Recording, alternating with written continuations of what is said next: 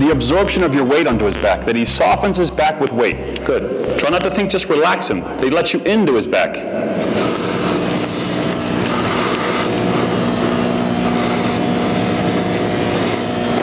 Good. And rise again.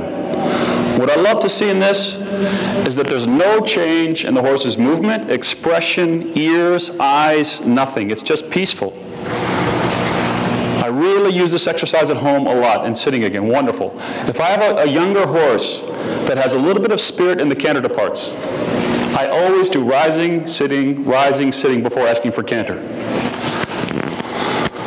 Good? I'm a huge fan of thinking the hind legs and the back are what give us the front. So like Ingo said, ride them behind the saddle. Yeah, the hind legs are what relax the back. We have to relax the back, the shoulders can do their job, and everything is from riding, we always say from back to front. But let's be more specific from back to front. Let's get the motor doing its job. Now let's get the clutch of that manual transmission, which is the back, so we don't grind the gears. Don't drive the hind end into a jammed hand. We have to let the back be the clutch of the car. And if the back is tight, other things are tight in front of that. Before you trot, just check. Can I make the walk a little bit more balanced? Good. Okay, and then into the trot. You can start rising if you'd like. I'm his friend. But I want the right speed and I want throughness. Not posting on his back, post into his back. There.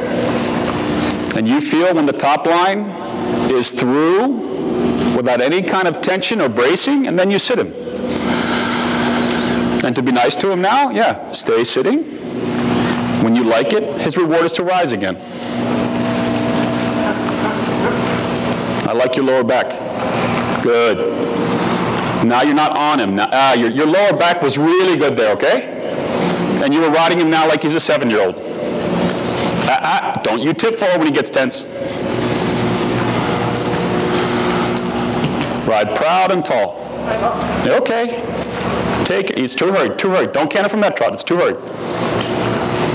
There. There. Good throughness. Your transition is finished when he's through and he feels beautiful.